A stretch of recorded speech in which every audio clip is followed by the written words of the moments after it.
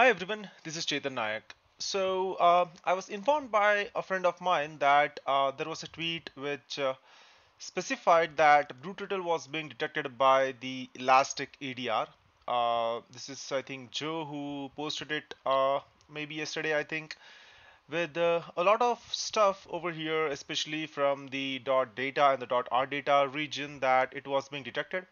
Now we are not sure which release uh, this one is. At least it shows, uh, shows that it uh, has been detected as malware detection. So I believe that most likely this is going to be um, uh, either a Yara rule based detection that has been performed most likely on the .data or the .rdata section when it was not in uh, sleep in this case because else it will basically be encrypted.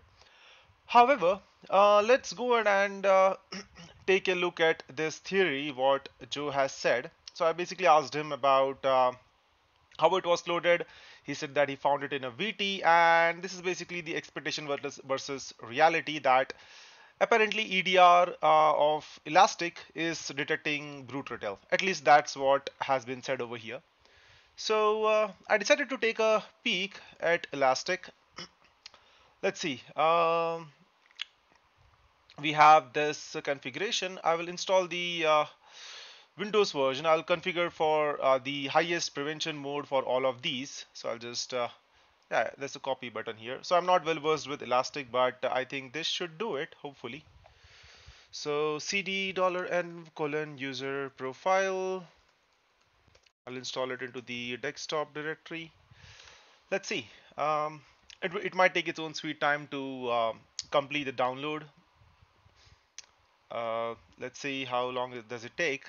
We should get an update that the agent has been installed and we will configure it for the highest possible prevention there is. I'll just restart my server that I have here. it's a 1.3 server, but it still contains the same payload in uh, 1.2.5, 2.6 and all those versions. So let's see what the status.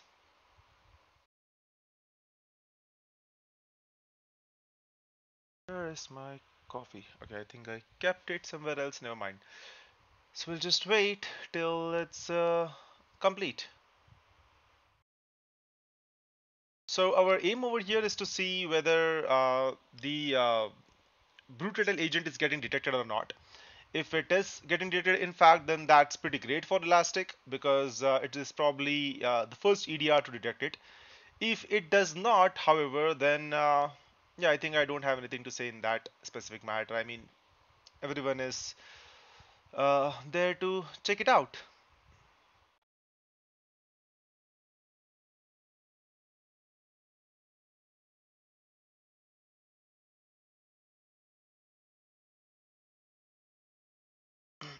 So looks like the extraction is complete. Do you want to uh, install Elastic Agent? Yes.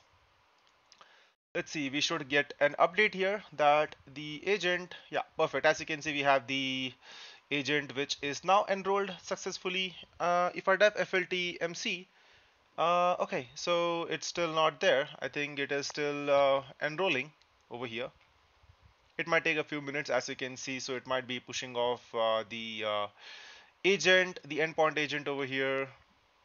Let's see if we can take a look at the uh, agent. We can see this is basically my system that I have. We have uh, configured this over here. Let's take a look at uh, the policies.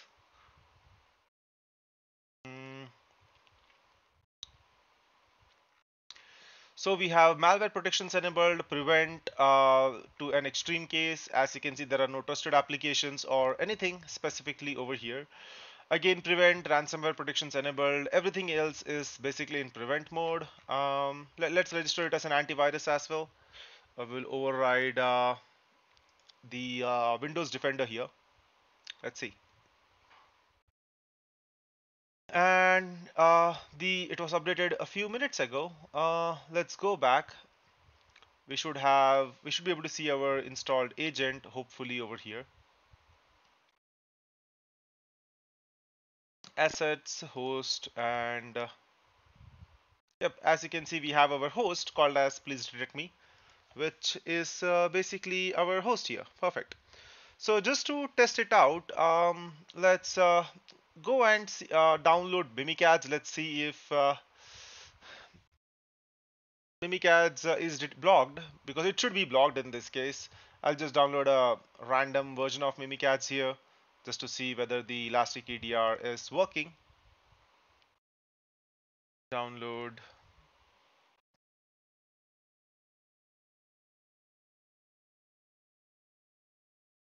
It should yeah it's uh, perfect. So I'll keep show more keep anyway and uh, I think the elastic EDR perfect. So it is working in this uh, case as you can see.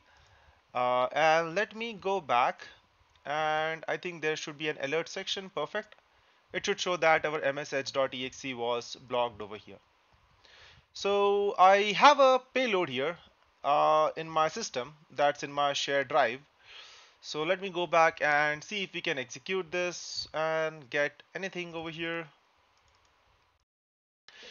So uh, let's execute this.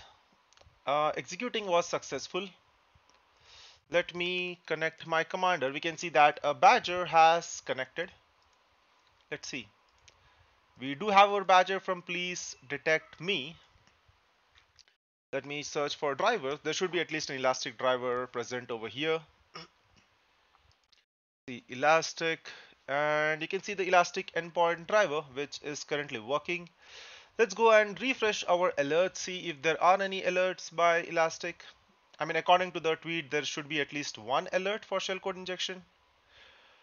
Um nothing apart from what we have over here. Let's see if our uh, agent is still connecting back. I mean I'm new to these so uh, let's see. Um, not sure where the host sections are. Uh, see I think there was an option in the add integrations option to see all the hosts that are active.